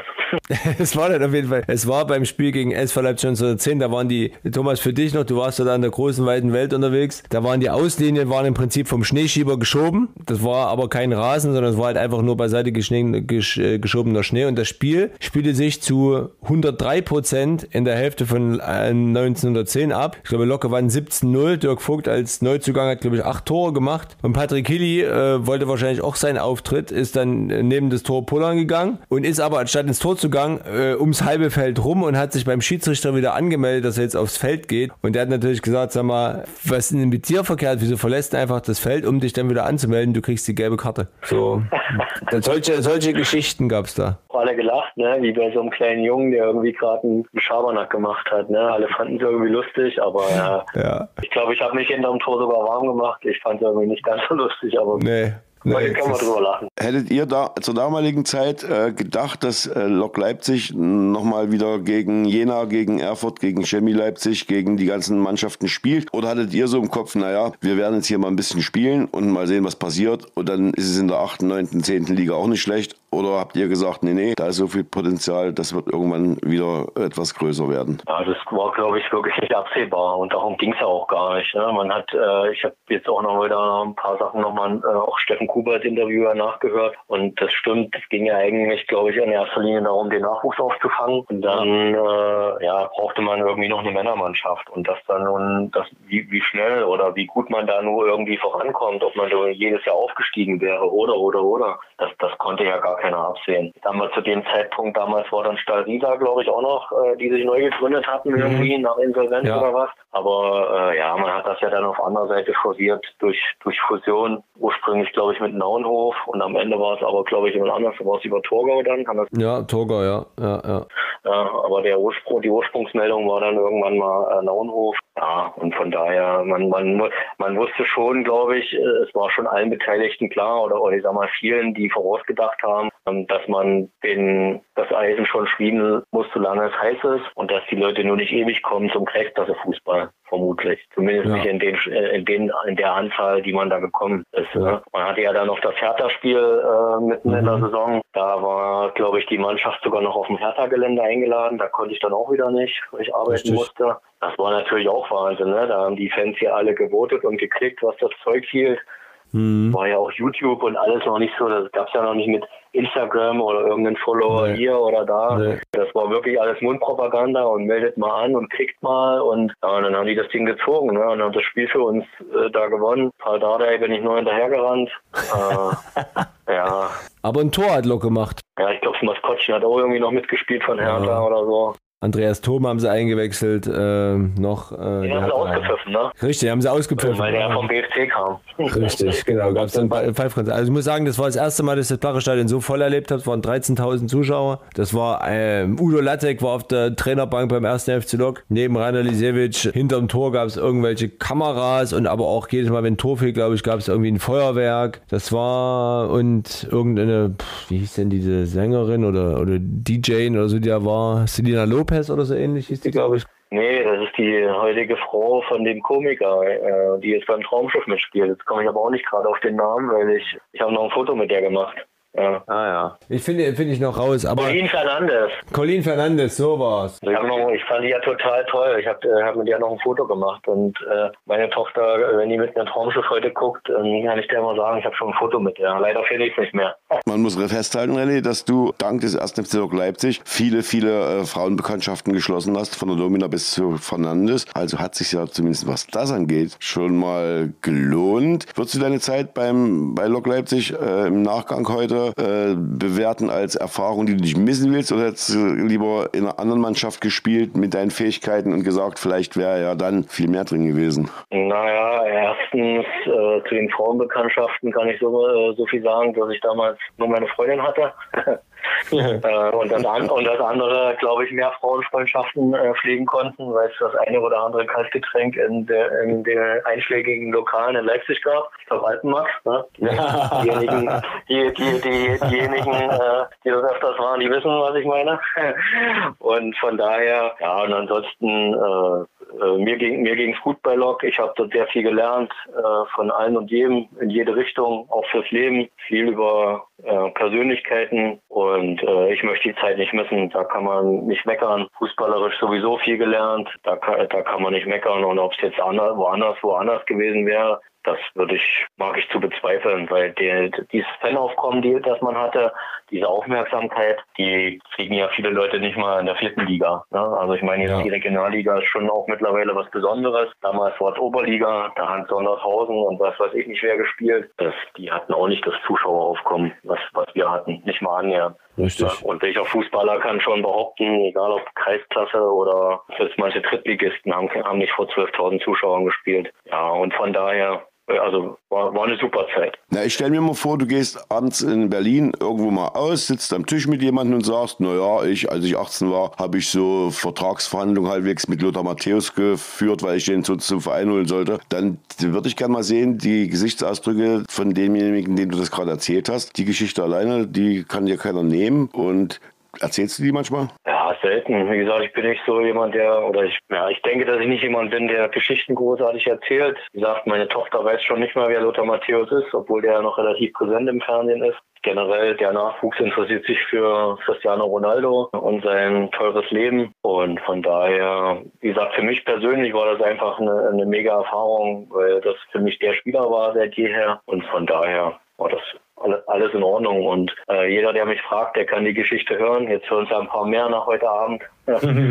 Und ja, manche Sachen kann man, kann man gar nicht so fassen. Das glaube ich. Wir haben mit Matthäus begonnen. Ich würde gerne mit Matthäus enden. Erzähl mal, wie das Spiel oder der Spieltag mit ihm dann letztlich war. Der Spieltag war, ich müsste überlegen, ich glaube, das war sogar ein Freitagabendspiel, flutlich, mhm. würde ich jetzt spontan ja. sagen, oder? Gegen SV Ost. Ja. Äh, ich musste noch arbeiten und hatte, hatte zu tun, über die Autobahn für mich nach Leipzig zu kommen. Das hat alles geklappt. Von Anfang an habe ich, glaube ich, nicht gespielt und ansonsten war er ja locker drauf. Er hat auch wirklich, glaube ich, nochmal am Anfang ein Statement gesagt, dass er jetzt einer von uns ist, äh, dass er nicht anders behandelt werden will. Und das hat er, glaube ich, auch von Anfang bis Ende gezeigt, so wie er gespielt hat. Ne? Das muss man einfach sagen. Tja, René, das war mega interessant. Wir haben jetzt über eine halbe Stunde geredet. Ähm, es gab mal die, die Überlegung, ein Buch über diese erste Saison zu machen. Ich glaube, wenn es das tatsächlich gibt, wird dieser Podcast ein Ausgangspunkt sein äh, und das persönliche Gespräch mit dir über die einzelnen Details ein zweiter. Danke, dass du dabei warst. Schön, dass der Kontakt wiederhergestellt wurde. Wir haben uns ja vor 20 Jahren gekannt und gesehen und seitdem ja auch nicht wieder. Hat mich sehr gefreut, René, und, und für deine kleine Familie und für dich alles Gute in der Zukunft. Ja, vielen Dank äh, und ich möchte bitte nochmal daran erinnern, äh, wen man nicht vergessen darf. Steffen Kubert, Katrin Pahlhorn, Jens Götte, der kannte mich schon als kleinen Jungen. Ich glaube, der hat sich tierisch gefreut, äh, als ich mich damals beworben habe. Und viele, viele andere, wo mir vielleicht die Namen jetzt nicht mehr so einfallen oder die mir einfach nicht mehr so präsent sind. Wenn man manche Sachen oder Leute immer kritisiert, ist das das eine. Aber ohne die Leute äh, wird es den Verein nicht geben. Und sie haben äh, viele Sachen ohne Studium gemacht. Da hat keiner Sportmanagement studiert oder so. Ich habe das am Wochenende auch nochmal gesagt. Und am Anfang haben, haben alle den Verein und die Leute belächelt, auch die Stadt selber. Und ich glaube, der Verein hat in Verbindung mit Fans und den Leuten gezeigt, was möglich ist, wenn alle zusammenhalten. Dann danke euch allen nochmal an dieser Stelle für das, was ihr damals vor 20 Jahren getan habt. Viele Grüße auch an deine Familie und wir freuen uns, wenn wir dich dann demnächst wieder mal in Leipzig im Stadion im Bruno sehen. Sehr gerne. War ein schönes Wochenende. Jo. Ja, gleichfalls. Ciao. Tschüss. Ciao. Tschüss. Unser zweiter Gast heute, René Rosberg, der vieles Interessantes, für mich Neues erzählt hat. Du selber äh, warst ja damals sozusagen dabei. Wir haben gehört, dass du, das wissen wir ja, dass du, dass du als Torwart oder als Spieler dich beworben hast beim Casting. Er hat das ja sehr, sehr diplomatisch äh, umschrieben, als ich ihn provozieren wollte, deine Leistung zu bewerten. Aber dass der stellvertretende Chefredakteur dabei war, das wusste ich noch nicht. Siehst du? Es gibt tatsächlich auch ein Foto von uns beiden, die wir uns damals noch nicht kannten. Aber wir haben auf einem Foto dann festgestellt, dass wir beide da darauf zu sehen sind. Und ich habe ja damals den strategischen Fehler begangen. Ich war ja, bis ich 18 war, ähm, also bis, also nur in der Jugendzeit war ich ja Torhüter, habe am Anfang Libero gespielt, dann bin ich freiwillig ins Tor, habe zehn Jahre im Tor gespielt und hatte dann mit 18, 19 gedacht, ach komm, lass mal aufs Feld wieder gehen. Es hat eigentlich Laune gemacht und wusste dann nicht so recht, welche Position und so. Und habe mich bei dem Casting eben nicht als Torhüter vorgestellt, sondern als Feldspieler. Ähm, habe dort Außenverteidiger gespielt, habe das auch ordentlich gemacht, muss ich sagen. Also war bin ja Sagst nicht, du. äh, ja, sag ich, bin auch nicht abgefallen und dann lief das ja so, das war ja, äh, stand in der Zeitung und dann bin ich da hingerammelt und dann weiß nicht, waren da 40 Spieler oder so in der Kabine und für jeden gab es ein Trikot mit der Nummer und dann hat sich Lisewitsch die Nummer äh, notiert mit dem Namen und dann hat er mal geguckt, aha, mh, die 13, nee, das ist nichts. Hm, hm. Und dann nach dem Spiel war, wurde angetreten an der weißen Linie hm, und dann hat er die Namen vorgelesen und hat gesagt, bleiben da und da fiel der Name Hofmann, da fiel der Name Hofmann dann dachte ich mir, hä, ich? Also ich habe es ordentlich gemacht, aber ich hätte so und dann bin ich zum Training hin, da äh, gab es noch einen zweiten, gibt es noch einen zweiten Hofmann, nee, nee, Marco Hofmann, das bist doch du. Ich sage, das bin ich. Da war ich natürlich übelst glücklich. Ich weiß noch, an dem Tag war, war Ärztekonzert in der Arena, wo ich Karten hatte, was dazu führt, dass mein Vater quasi mit, mit quietschenden Reifen vom Gelände gefahren ist, mich so nah an die Arena gefahren hat, wie es nur ging. Mein Bruder war dort, dem habe ich das natürlich sofort prüfwarm erzählt. Ich war dabei, ich bin im Kader, egal ob jetzt dritte Kreisklasse nicht, spiele für Lok. War mega. Und dann äh, kam es aber so, dass Rainer Lisewitsch mich eine Woche später anrief, da war ich zur Berufsschule in Erfurt, wie gesagt, und hatte dieses, das erste Casting, da dachte ich mir, das, da gehe ich nicht hin, das ist irgendwie komisch. Dann habe ich auch gehört, was das für ein Erfolg war und wie das ablief. Bin ich zum zweiten Casting hin, beim dritten Casting konnte ich nicht, war ich in Erfurt der Berufsschule und dachte mir, das ist eigentlich gar nicht schlimm, weil ich ja den Platz ja sicher habe. Und dann kriegte ich einen Anruf, weiß ich noch wie heute, gehe ich in Netto rein, dort in Erfurt und krieg den Anruf, ja Marco, ich musste leider mitteilen, ähm, du bist wieder raus aus dem Kader, kamen jetzt ein paar neue, Daniel Nasada zum Beispiel war dann vorgespielt, den hat er, hat er dann mit reingenommen, der auch besser war. Und so war ich raus aus dem Kader, war natürlich mega enttäuscht, hatte mir den Spielplan schon auf Arbeit hinter meinen Schreibtisch gehängt, war damals noch Auszubildender und äh, war dann traurig, aber ohne, ohne das äh, ohne diese, sag ich mal, äh, Rausschmiss aus dem Kader würde es Lockruf nicht geben, weil das ist ja das, was dann am Ende daraus entstanden ist. Am, am 10.12.2004 war ja die Premiere für Lockruf, die mit dem Fußball, der in der dritten Kreisklasse gespielt wurde, von unserer Mannschaft zu tun hatte. Denn es gab dann, es gab schon das Internetforum und so weiter. Und es gab halt Menschen, die sagten, ey, ich wohne in, hm, hm, ich kann nicht ins Stadion kommen, ich würde aber interessieren, wie das Spiel läuft. Und ich denke hier, der, der Firefighter, den der eine oder andere auch kennt, war einer, die haben dann angeboten, SMS-Ticker zu machen. Das Problem war aber, okay, SMS-Ticker ist irgendwie sinnlos, wenn das Spiel 20-0 ausgeht, weil eh du getippt hattest, wer das 2-0 geschossen hat oder das 3-0 war schon das vierte und fünfte gefallen. Und du musstest das ja an verschiedene Leute verschicken. Und ich denke, damals war es auch so, man konnte SMS nur an fünf Leute gleichzeitig verschicken. War ja SMS kein WhatsApp. Also war SMS-Ticker auch wie doof. Also hat man überlegt, was könnte man machen? Eine Webcam aufstellen. Hm, eine Webcam auf der Tribüne, okay, aber da hat dann jemand schlau gesagt, naja, eine Webcam schickt ein Bild pro Minute, das ist auch irgendwie sinnlos. Ist ja keine Live-Übertragung. Das können wir machen, das können wir machen. Hm. Wie wär's denn mit dem Internetradio? Und da haben sich dann verschiedene Leute bereit erklärt, René Kruschka, dem es leider gar nicht so gut geht, aber der war mit dabei am Anfang, der hat sozusagen die ganze Technik und das Studio gestellt und so eine Anschub, Anschubfinanzierung quasi möglich gemacht, um halt ein Telefon zu holen und was der Fuchs was. Dann haben wir gesagt, okay, wir nehmen Spenden ein. Da weiß ich noch, bin ich zur Deutschen Bank gefahren, habe dort ein zusätzliches Konto eröffnet, was sozusagen mein, mein, mein, also als Spendenkonto sozusagen dann fungierte. Und Enrico Böhm, der dann relativ zeitig, also nach zwei Jahren ausgeschieden ist, war dann sozusagen der, der die Technik in Leipzig betreut hat, also der dafür gesorgt hat, dass die Homepage immer aktuell war. Der hat die programmiert, der hat die aktuell gehalten, der hat die Übertragung mitgemacht mit mir. Und Lothar Matthäus war sozusagen dann eines der vielen Highlights von Lockruf. Den wollte ich interviewen. Da wurde er ausgewechselt, 74. Minute. Und wir hatten ja damals, gab es im Innenraum jetzt keinen, irgendwie, der darf nur hinterm Tor sein und der eben auf der, auf der Geraden oder so. Also bin ich hin mit meinem äh, Handy. Vertrag war damals bei Base, weiß nicht, ob das noch jemand kennt. Das war äh, Anrufe aufs Festnetz äh, kostenlos, was für uns lukrativ war und im E-Plus-Netz, weil wir ja immer, die erste Lockruftechnik war ja, wir rufen bei René Kruschka in Mannheim an. Der hat dort den Rechner, dort geht das Mikrofon theoretisch rein, was praktisch nicht ging, denn der hat irgendwie das äh, Telefon, äh, sein Festnetztelefon mit dem Rechner verbunden und hat dann ein Mikrofon aufs Telefon gelegt. Nee, das war anders. Das Mikrofon war mit dem Rechner verbunden und das Mikrofon lag auf dem Telefon. Das Telefon war auf Lautsprecher und hat sozusagen das, was ich erzählt habe, in den Rechner übertragen oder Enrico. Und äh, das war am Anfang zu leise, ähm, weswegen er sich ein Telefon für Schwerhörige geholt hat, was man auf 1800 Dezibel stehen konnte. Und dann funktionierte das. So haben wir das gemacht. Vor dem Spiel immer äh, Live-Ticker äh, noch. Äh, das hat jemand einen Live-Ticker gemacht, der Lockruf gehört hat. Mike Meilik. Meilicke, glaube ich. Meilik. Meilicke. Äh, liebe Grüße an, an ihn. Und weiß gar nicht, ob er noch wo er sich gerade rumtreibt. Und den habe ich vorher angerufen, habe alle Namen durchgesagt. Bei Lok war er relativ einfach, aber vom Gegner gab damals keine Datenbank mit Spielern von dritte Kreisklasse. Das heißt, er hat die alle händisch eingetragen und hießen ja nicht, äh, Menschen heißen ja nicht alle Müller, Meier, Schulze. Selbst bei Meier wird es ja schon schwer mit EI oder mit AI oder mit AY oder EY.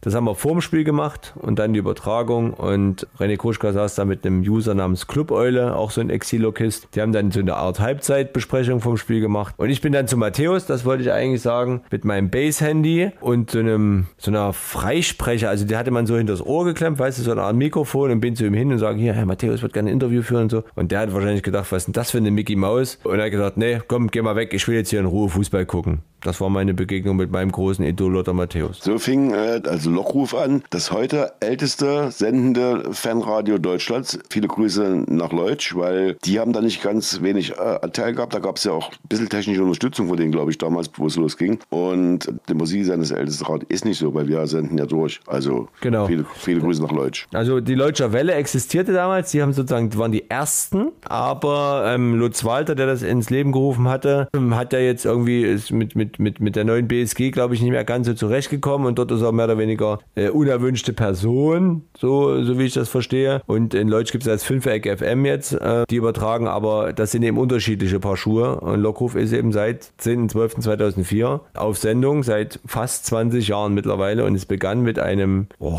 4-0 gegen die SK Repitz. Bernd Hopsch übrigens damals hat sich auf sein Interview mit meinem mit meiner Freisprecher eingelassen, hat zwar blöd geguckt, der hat damals gespielt, aber er hat dort äh, Fragen beantwortet tatsächlich. Eine, eine absolut wilde und unvergessliche Zeit. Ähm, Kriege ich jetzt noch Gänsehaut, äh, wenn ich an diese Zeit denke, weil, wie René das sagte, Propsida war eigentlich tot. Sportlich, dritte Kreisklasse, finanziell war natürlich der VfB äh, im Insolvenzverfahren. Der erste FC Lok, ja, sollte Nachwuchs auffangen, hehres Ziel, aber wo gehe ich denn am Wochenende hin? Okay, es gibt diese erste Männermannschaft, gehen wir mal dahin. Und dann gehst du zum ersten Spiel und dann ist das Stadion dort pickepacke voll und du denkst, wo kommen die alle her und vor allem, was ist denn mit denen los? Also so eine Stimmung. Rainer Lisewitsch hatte gesagt in dem Interview nach dem Spiel äh, der Zeitung, also das hatte Europapokal-Atmosphäre und das klingt jetzt irgendwie so ein bisschen, wie eigentlich sagt man, cheesy, hm, irgendwie komisch komisch, übertrieben, was auch immer. Aber ich muss sagen, ich habe bis dahin, und ich bin ja da auch schon neun Jahre äh, nach Propsheiter gegangen und auch selten danach, so eine, muss ich das richtige Adjektiv suchen, ähm, so eine fatalistisch, würde ich vielleicht, ja,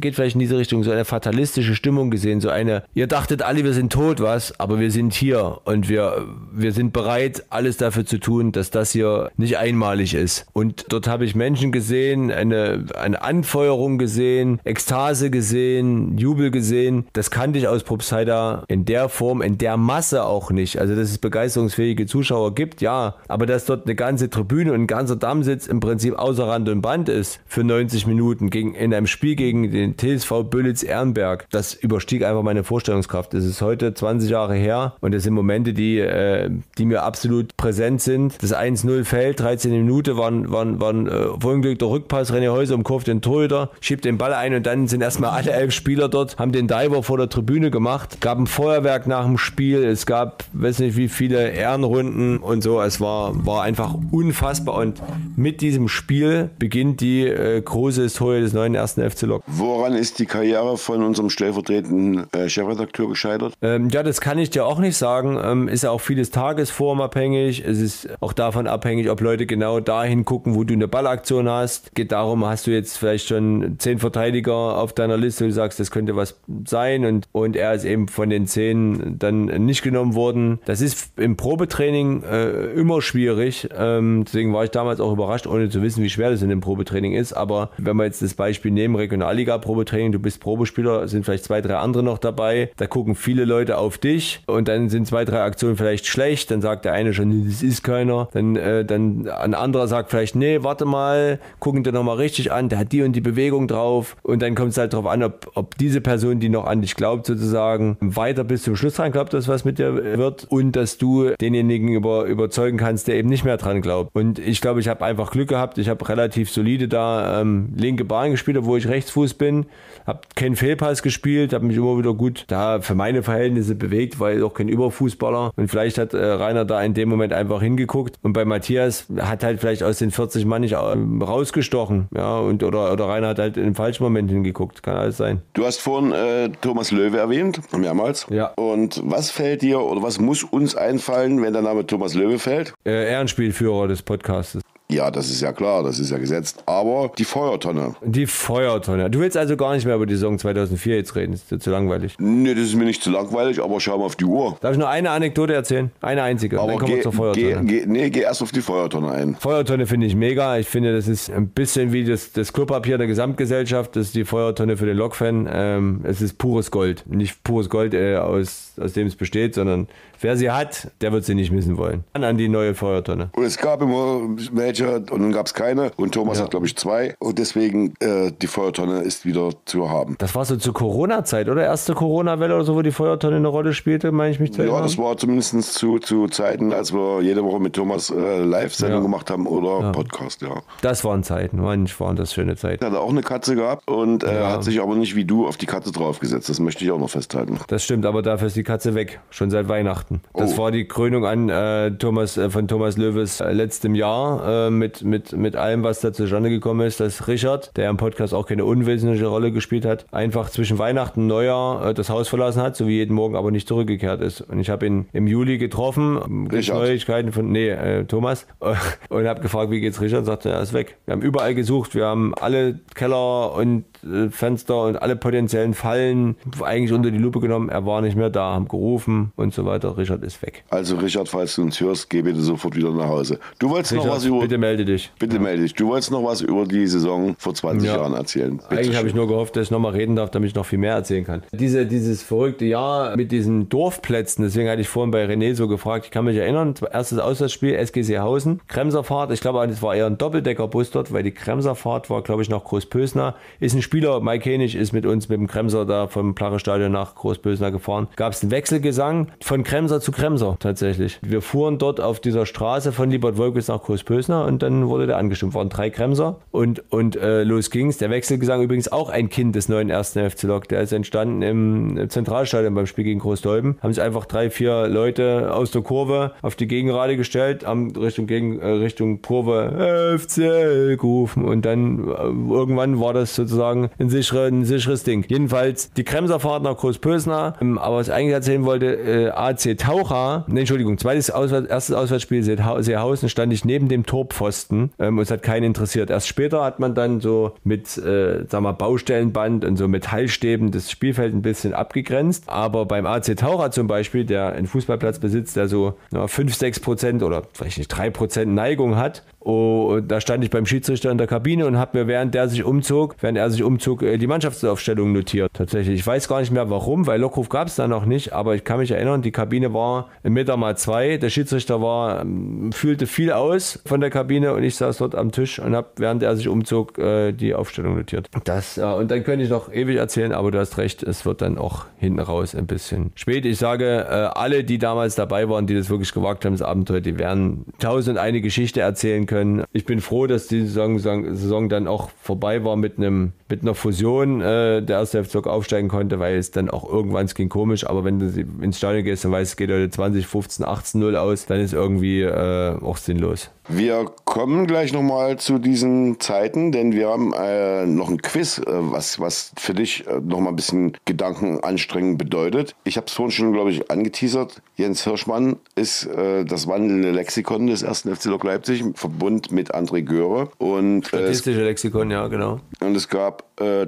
das 3500. Pflichtspiel unserer Vereinsgeschichte. Und für alle Statistiker und Freunde von langen Zahlen gibt es da eine Menge Zahlen. Ich würde einfach mal anfangen, die vorzulesen. Und wenn es dann spannend wird, stelle ich dir die Frage, ob du das dann, ob du da Sachen weißt. Bist du damit Na, einverstanden? Fangen wir an. Also erstmal fangen wir an, so ein bisschen grob die Statistik. 3499 Spiel gab es, also das war der fünfte. 1819 Siege, 690 Unentschieden und 979 Niederlagen. Elf Spiele wurden ohne Wertung abgebrochen. Ui, was ist denn da los gewesen? Willkommen beim ersten FC Lok. Ja. Es waren 123 Europapokalspiele, 3010 Meisterschafts, 328 Pokal und 38 äh, 38 sonstige Spieler. Diese Spiele absolvierten wir als VfB Leipzig, VfB Sportbrüder, also VfB Leipzig 1345, Sportbrüder 17, SG Propstheider 70, BSG Erich Zeigner 28, BSG Einheit Ost 117, SC Rotation Leipzig 244, SC Leipzig 107, 1. FC Lok Leipzig 1447 und der 1. FC Lokomotive Leipzig Verein für Bewegungsspiele 124 Mal. So, jetzt geht's los für dich. Die äh, Top 10 Spieler, die die meisten Pflichtspieleinsätze hatten, waren mit der Nummer 1 Henning Frenzel. Falsch.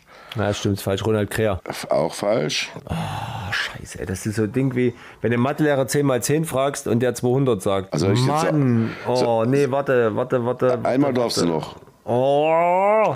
Tick, tack, tick, tack, tick, tack, ticke, tack, ticke, tack, ticke, tack, ticke, tack, ticke, Warte mal, warte mal, warte. Es muss ja einer aus der, also ich denke, es war einer aus dieser 87er Mannschaft. Matthias Liebers, Mensch. Ja, hast, oh. du, hast du das jetzt gegoogelt? Nee, habe ich nicht. Ich habe, ich, kon, ich habe konzentriert in mein unaufgeräumtes Regal geguckt. So, wie viele Spiele waren es dann? Ah, 463 oder sowas? Falsch. Ich sag dir es, 540. Platz 2. Aber das war mit Freundschaftsspielen wahrscheinlich, ist das. Die oder? Top 10 Spieler mit den meisten Pflichtspieleinsätzen. Haben wir doch gerade gehabt, oder? Matthias Liebers. Ja, genau. Und nicht, ach, Platz 2, ach, Platz 2 bei denen, ach so. Also nicht, nicht Freundschaftsspieler, also Matthias Liebers okay. auf Platz 1. Dann, dann sage ich jetzt Ronald Kreher. Auch falsch. Dann Henning Frenzel. Richtig, 505, Platz 3. Ich dachte immer, Henning Frenzel hat irgendwas mit 340. 506, 505 steht hier. Nee, 420 und dann hat er das 421 gegen Paunsdorf gemacht. Ja. Naja, gut. Äh, ach so, naja, klar, ich, äh, die, die SC Leipzig-Spiele habe ich wahrscheinlich nicht dann äh, mitgezählt. So, Platz 3 wolltest du jetzt wissen? Hm? Ronald Kreher. Falsch.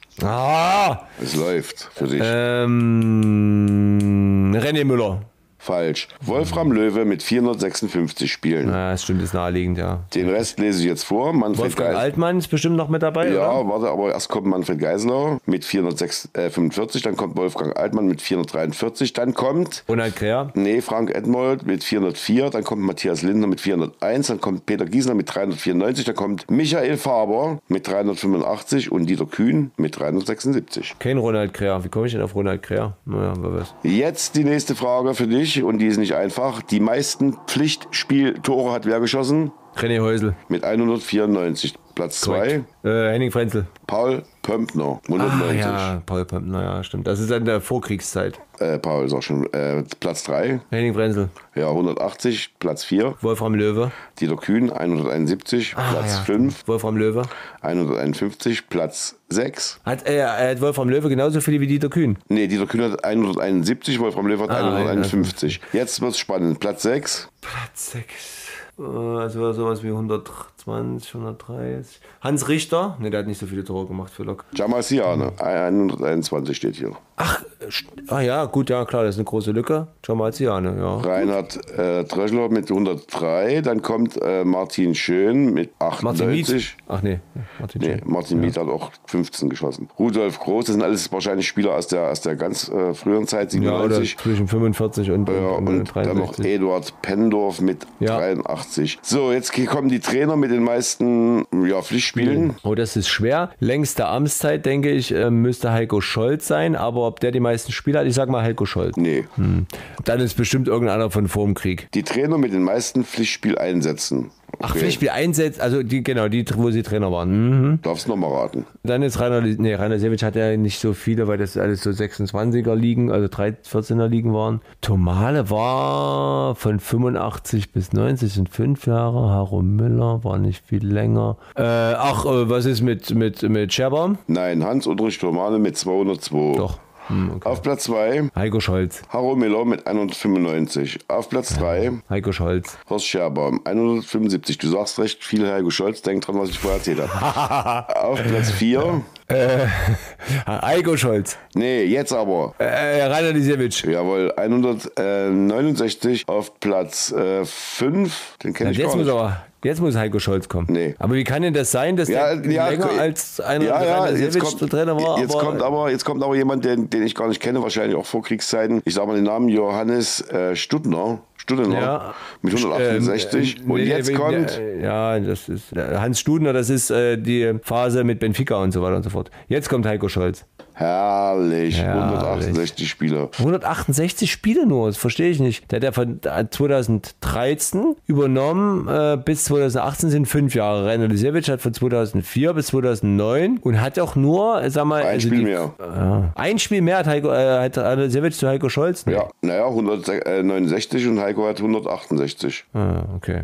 Gut. Und der Studner Hans, was hatte der? Ja, auch 168. Gleich So, auch mit sind alle so nah beieinander. Okay, naja, das ergibt jetzt Sinn. Ja. Jetzt kommen noch, das brauchst du nicht, oder du kannst noch raten. Die häufigsten Pflichtspielgegner waren Gefühlt der VfB Auerbach. Aber ähm, das ist ja nur die Neuzeit. Ähm, naja, um irgendjemand aus der Oberliga, der BFC. Zwickau mit 136. Stimmt, das hat man, glaube ich, auch schon mal. das hat, Platz glaub ich, der zwei. im Podcast erzählt. Ähm, was, wie viel? 100? 136 Zwickau, Platz Dann müsste 2. irgendwann äh, Leutsch kommen, der haben ja jetzt, glaube ich, 111, aber dann ist bestimmt noch jemand dazwischen. Jena. Richtig. Dann kommt Leutsch mit 111. Dann kommt Und dann kommt der BFC. Dann kommt. Ne, der BFC, Mann, ja. Nee, nee, BFC ist zu weit weg. Hm, warte, warte, warte, warte. Der Karl-Marx-Stadt. Nee, Rot-Weiß Erfurt. Dann kommt Ah, ja, auch, stimmt. also mit, mit äh, 108 Spielen. Dann kommt Platz 5. Boah, boah, boah, äh,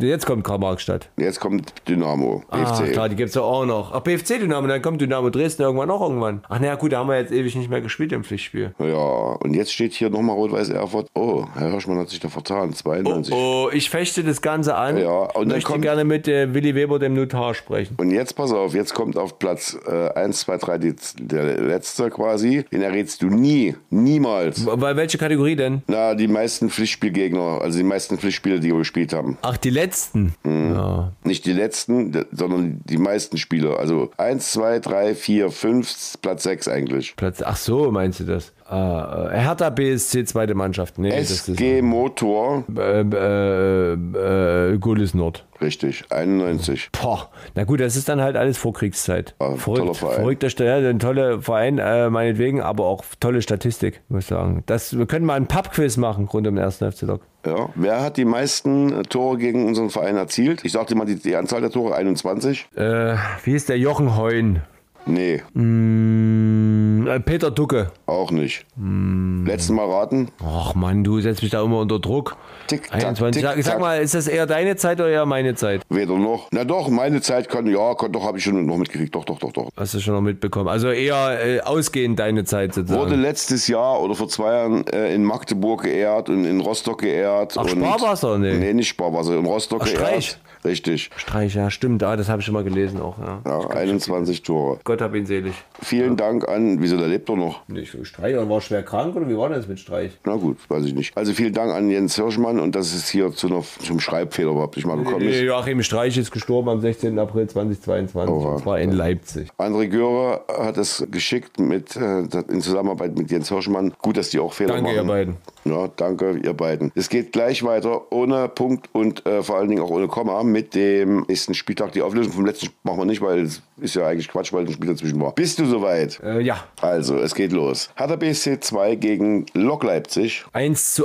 Ah, ne, darf ich ja nicht sagen. 1 zu 1. Ich sage 1 zu 2. Warum darfst du das nicht sagen? Naja, weil ich sollte mal den Podcast nur unentschieden tippen. Okay. Ich weiß nicht. Ja. Schwierig, aber gut, bei Hertha haben wir eigentlich immer gut ausgesehen. Haben wir 2-1 Sieg. Okay. Zwickau gegen Altkliniker. Oh. Kann ich auch sagen, ist mir egal? Nee. Nee. Äh, auch das, das ist 1 zu 1. 1 zu 1. Dann kommt Meuselwitz gegen Chemnitz. Ja, ich hoffe 0 zu 2. 0 zu 2. Warum liegt dir das Spiel vom letzten Jahr noch im Magen? Nee, nee, nee, ich habe äh, mit Anton Rücker einen ehemaligen Einburger Spieler, der in, in Chemnitz spielt und dem gönne ich einfach, dass Chemnitz gewinnt und äh, in Meuselwitz ähm, wird auch dem FC Einburg helfen. Also, über drei Banden gedacht. Victor, Victoria gegen Luckenwalter. 1-0. 1 0. Chemie Leipzig gegen Greifswald. Oh ja, ist eine interessante Partie. 2-2. Babelsberg gegen Plauen. 1 zu 2. Mal Risiko. Hallischer FC gegen Einburg. Mhm. Ähm, äh, 1 zu 1.